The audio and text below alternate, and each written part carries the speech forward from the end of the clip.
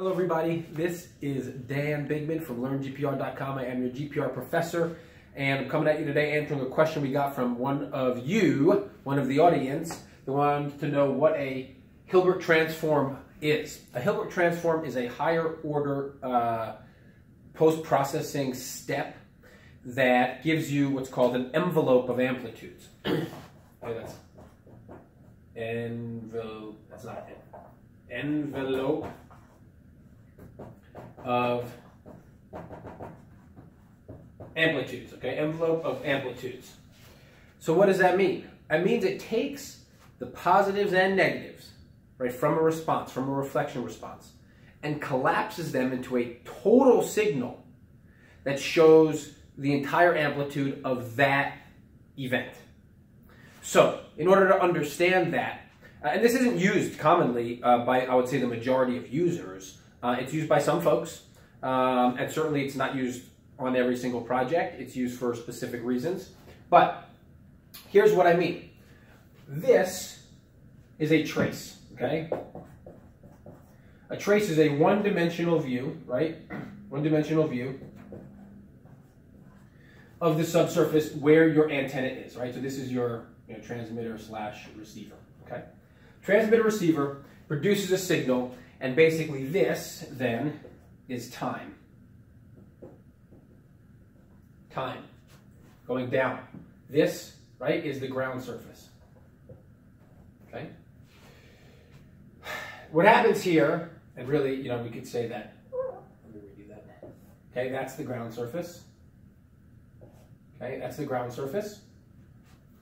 That means that this response right here is the reflection event off of the ground the signal comes out of the antenna, hits the ground, and goes back to the receiver. It creates a reflection response. When it does this, it basically creates a three-banded reflection event. It could be negative, positive, negative, or the reverse. It could be positive, negative, positive. In this case, I'm saying that it was negative, positive, negative. So when the signal slowed down, when the wave slowed down, it created a negative, positive, negative. In this circumstance, why do we know it slowed down? The wave moves fastest in air compared to anything else. So the second it enters the ground, it's slowing down under all circumstances. There is no circumstance that the wave comes from the air into the ground and speeds up. It doesn't happen. It has to slow down. So this is our slow down signature, negative, positive, negative for this example.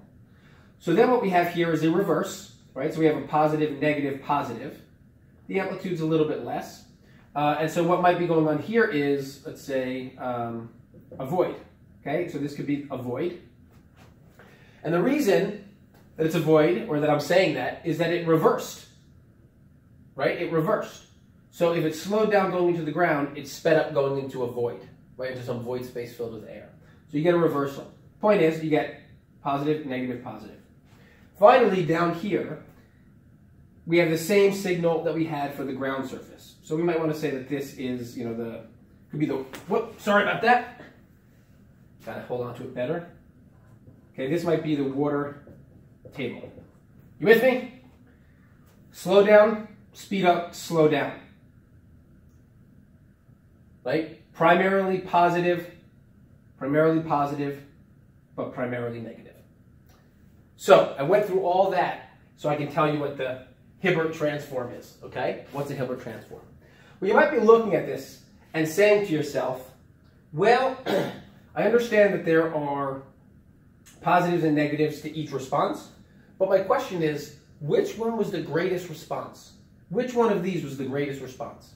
So by going into a Hilbert transform, right, so this is the transform, we'll go Hilbert transform, it creates something that looks like this instead. It creates absolute values, values,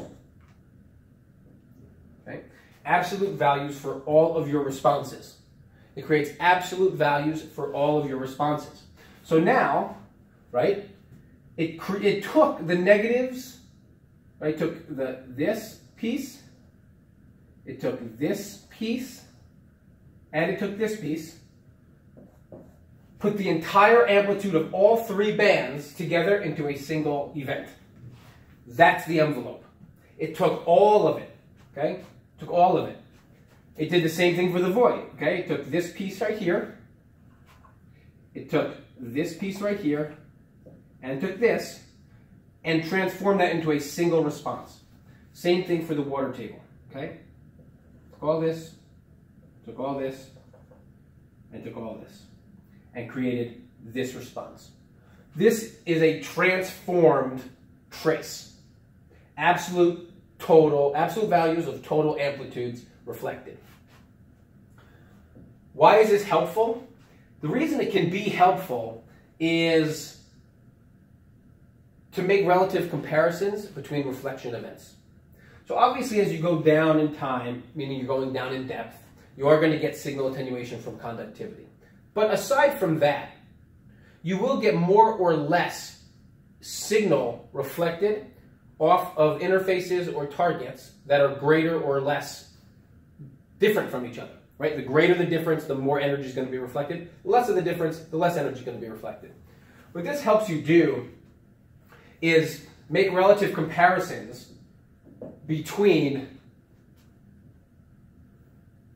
these events. Okay? So, in this case, you get a bigger reflection off of the ground surface. That's understandable. You would anticipate getting equally as large of a reflection going from the same ground surface into a void. But there actually is less. Why is there less? Because of the attenuation. So we would expect these to be pretty similar. There is some attenuation, so this amplitude, right, is not as, uh, uh, you know, is not as, as, as dramatic for this void as it was for the, for the ground surface. By the time it gets down to this water table, it's, uh,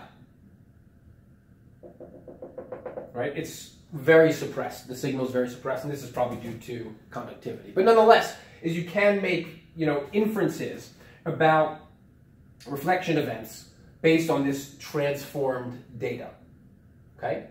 That's what a transform is, or at least I'll say has traditionally been. So to kind of wrap this up, I'll bring you to the to, to recent history, and I say recent, I mean the last couple months, is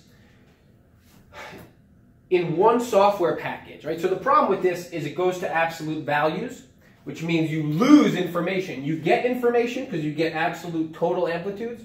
Problem is you lose information, and what do you lose information on? You lose information on polarity right? Because looking at this, you have no idea if it's speeding up or slowing down. You lose that information. Question was from somebody uh, uh, in, a, in, a, in a Facebook group, is can we do this, but have an algorithm auto-detect which polarity it is, and then produce the transformed data based exclusively on those polarities, absolute values, positive or negative, Right? So that is really what would be considered absolute. Positive or negative, total amplitudes, you know, uh, enveloped. And yes, somebody did that. So there's one that I know of, one software package is called GPR Slice. Uh, and so somebody asked this question, and basically Dean Goodman, the guy who wrote the software, turned around, I don't know, a week or two later and said, oh, we just added this function. Incredible, incredible thing. This is not uh, this is maybe a little plug for them, but it's just because he, he's a fantastic, excellent, excellent customer service, um, and, uh, and just a great software package. So, um, so this is what he did. Somebody, and I think it was Reed over on the West Coast. So good job, Reed, for pushing Dean.